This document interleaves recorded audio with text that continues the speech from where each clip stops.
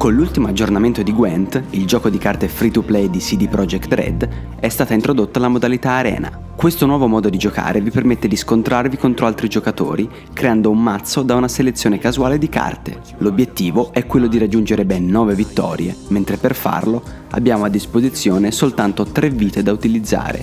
Fate molta attenzione e vedrete che seguendo i nostri suggerimenti sarà molto più facile portare a casa la pelle e il bottino.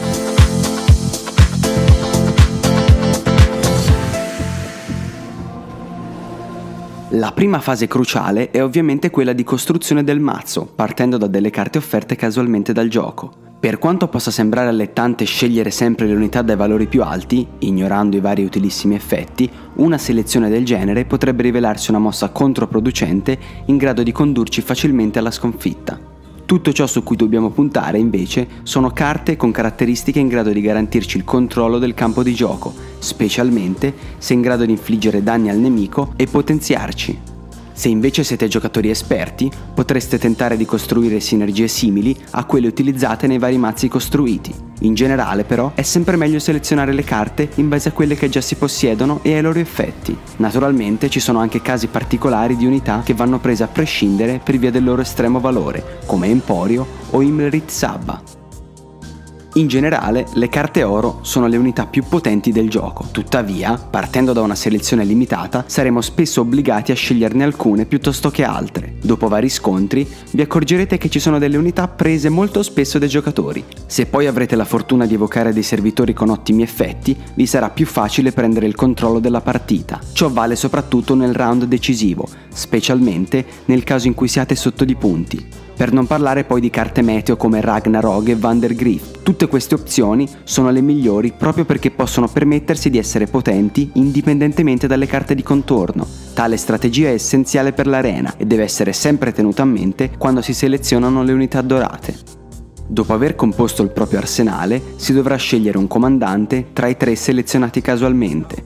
La scelta è sempre piuttosto ardua e anche in questo caso si potrebbe essere tentati di preferire il danno piuttosto che l'utility. Ciò a cui bisogna puntare invece sono i leader capaci di creare più opportunità possibili, rendendosi malleabili nelle loro opzioni. Prendiamo ad esempio l'usurpatore, un ottimo comandante spia di Nilfgaard che permette di creare e utilizzare un leader aggiuntivo. Non solo si tratta di un buon valio a livello numerico, ma ci permette anche di scegliere nuovamente tra una selezione di carte, il che non può che aumentare la nostra adattabilità nel corso della partita. È proprio questa la caratteristica essenziale che vogliamo sottolineare. Dovete fare in modo di avere sempre più opzioni per contrastare l'avversario.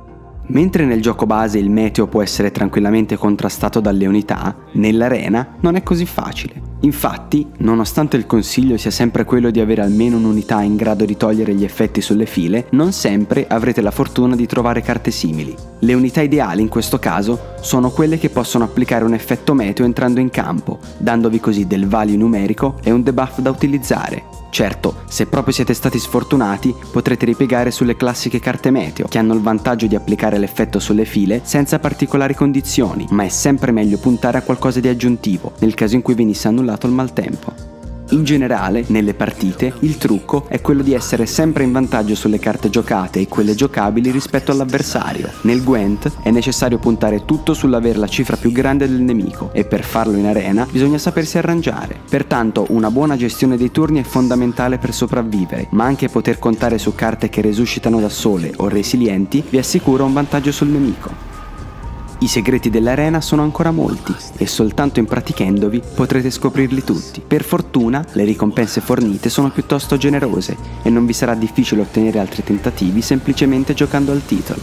Non azzardatevi troppo però, o Gaunter potrebbe spennarvi anche dei vestiti.